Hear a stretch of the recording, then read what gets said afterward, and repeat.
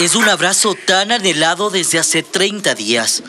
La familia de Fabricio vivió momentos de angustia al conocer sobre su secuestro. Las personas fueron muy específicas, que a ellos no les interesaba mi vida, que ellos querían el dinero ellos les interesaba el dinero y que iban a respetar mi vida. Eso fue lo que siempre mantuvieron.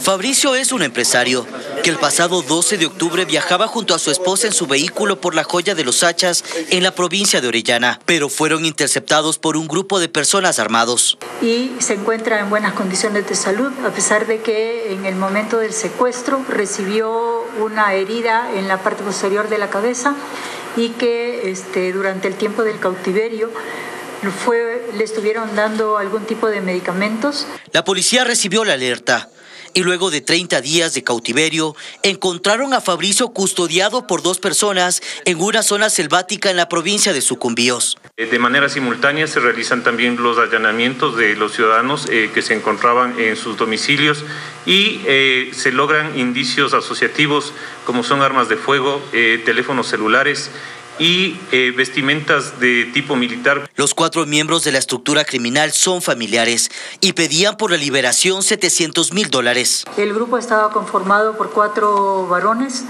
eh, tres de ellos con una relación familiar, el padre y dos hermanos, más una persona allegada a la familia. De enero a la fecha, la policía a través de la Unidad Antisecuestros y Extorsión ha resuelto 23 de los 24 casos reportados en todo el país.